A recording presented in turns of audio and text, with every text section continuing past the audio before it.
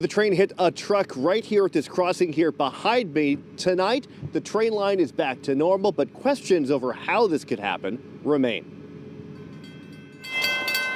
Crews spent the evening testing the new gates and signals in Littleton after this. That's a commuter train headed for Boston crashing into the back of a truck. Boom!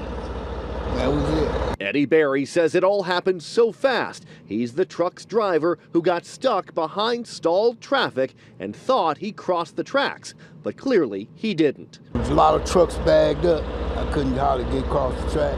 Oh. I didn't clear good enough. On the video, you can hear the train coming, warning bells, cars honking, and even a person walking across the tracks making it out just in time.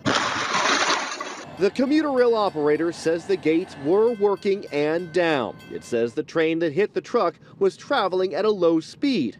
People in town say the traffic backups leading to a nearby bottling plant have caused problems before. One just two years ago. I've actually called 911 myself four or five times. So there was a lot of traffic, a lot of heavy traffic around, but uh, I don't recall people getting hurt or much of this. The hope is that something changes before this happens again.